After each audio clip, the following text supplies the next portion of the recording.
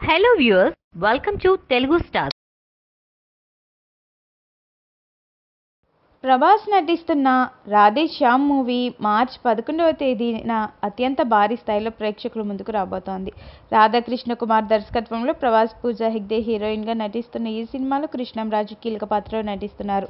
ప్రభాస్ ఒక జ్యోతిష్య నిపుణుడి పాత్రలో నటిస్తూ ఉండడంతో సినిమా మీద అంచనాలకు అంతకంతకు పెరుగుతున్నాయి. బాహుబలి సాహో చిత్రాల తర్వాత ప్రభాస్ నుండి వస్తున్న సినిమా కావడం ఇది కూడా పాన్ ఇండియా మూవీ కావడంతో సినిమాను వరల్డ్ వైడ్గా భారీ ఎత్తున విడుదల చేయబోతున్నారు నిర్మాతలు. ఈ క్రమంలో చిత్ర యూనిట్ ప్రమోషన్స్ కార్యక్రమాలపై దృష్టి సారించారు. ఇందులో భాగంగా ప్రేమికుల దినోత్సవం రోజున ఫిబ్రవరి పద్నాలుగున వినూత్న కార్యక్రమానికి సిద్ధమైంది చిత్ర యూనిట్. నైట్ థీమ్ పార్టీ పేరుతో కొత్త రకంగా ప్రమోషన్ చేయనున్నారు. ఇందుకోసం హైదరాబాద్లోని కెమిస్ట్రీ క్లబ్లో ప్రత్యేకంగా సెట్ వేయనున్నారు. సినిమా కథను ప్రతిబింబించేలా ఈ సెట్స్ ఉండనున్నాయని తెలుస్తోంది. బాలీవుడ్ ఇలాంటి థీమ్ పార్టీలు సహజమైనప్పటికీ అయినప్పటికీ సౌత్ ఇండియాలో మాత్రం ఇదే తొలిసారి అని చెప్పడం ఎలాంటి సందేహం లేదు.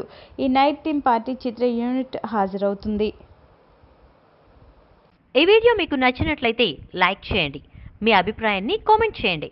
For more latest movie updates please subscribe Telugu stars.